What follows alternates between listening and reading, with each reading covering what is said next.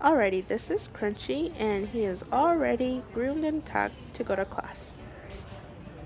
For grooming, you pick the hooves, brush with a curry comb, a hard brush, and a soft brush, just to make sure he looks his best for the rider to arrive.